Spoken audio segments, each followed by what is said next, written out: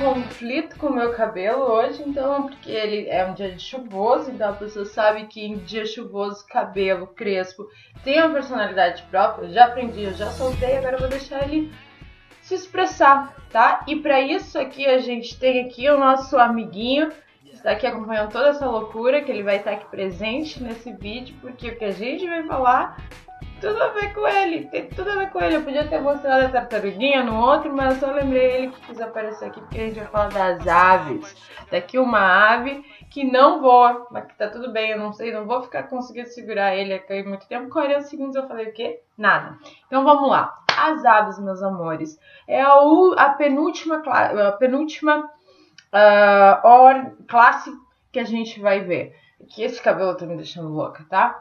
O que, que tu tem que saber? Dentro dos eucordados, ou seja, dos vertebrados, aquela classe que resolve ter o seu corpo adaptado para o voo. Analia, mas o pinguim não voa tudo bem, ele se adaptou para o nado, mas mesmo assim ele tem essas características no seu corpinho, tá? E quais são essas características, Analia? Por exemplo, corpo recoberto de penas, como a gente consegue ver aqui. Essas penas vão deixar o ar passar de maneira correta e facilitar esse voo. O corpo dela, por exemplo, vai ter os membros anteriores transformados em asas. Isso é uma coisa muito óbvia, né?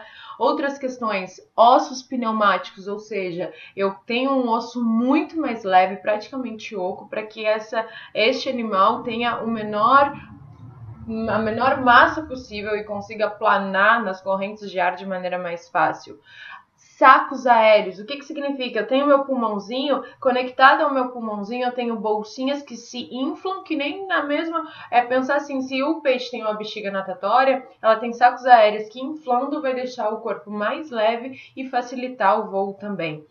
Ai, Nelly, mas tem aves que não voam.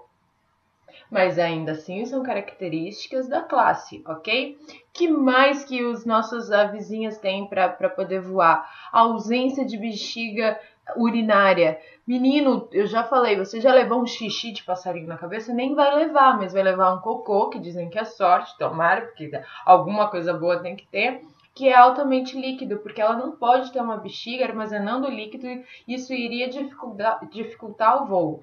No sistema digestório dela também, a gente vai encontrar a presença de papo e moela, que são órgãos que a gente já tinha estudado lá anteriormente, né, nos anelídeos, que vão ajudar a triturar os alimentos, visto que ela não tem dentes, também para ficar mais leve, ok? Ela tem a mandíbula transformada em bico e tem o papo, a moela, o intestino bem curtinho e a cloaca, que termina em cloaca, que elimina as, uh, os ovos e também as fezes misturadas com ácido úrico, que é a excreção dela, beleza? Outra coisa adaptada para o voo é aqui no finalzinho do osso externo, né? Uh, é transformada na quilha ou carena, que deixa o corpo com esse formato aerodinâmico.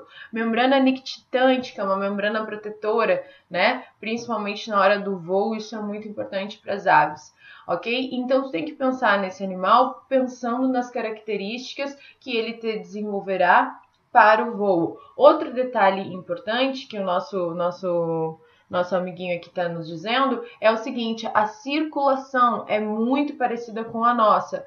Aliás, tu comer um coração de galinha quase está comendo um coração humano, porque tem quatro cavidades, dois átrios e dois ventrículos, tem uma circulação dupla, fechada, ou seja, os dois tipos de sangue circulam dentro do coração, por isso que é dupla, e completa, porque esses sangues não se misturam o arterial e o venoso. Então é muito desenvolvido, são endotérmicos, as penas ajudam eles a manterem a temperatura do corpo constante, e eles só têm um tipo de glândula, que é a glândula uropigiana uropigial, que é uma glândulazinha que tem no finalzinho aqui quase antes da cloaca, que serve para eles impermeabilizarem as penas, principalmente as aves que têm hábito aquático, que vivem aí no litoral e tudo mais. A gente sabe que tem algumas exceções, mas basicamente isso. E a siringe, que é o órgão que é responsável pelo lindo canto dos pássaros, tá? Eles têm desenvolvimento nervoso bastante complexo, tem 12 pares de nervos, e por isso que a gente sabe que eles são seres extremamente especiais. E vamos que vamos que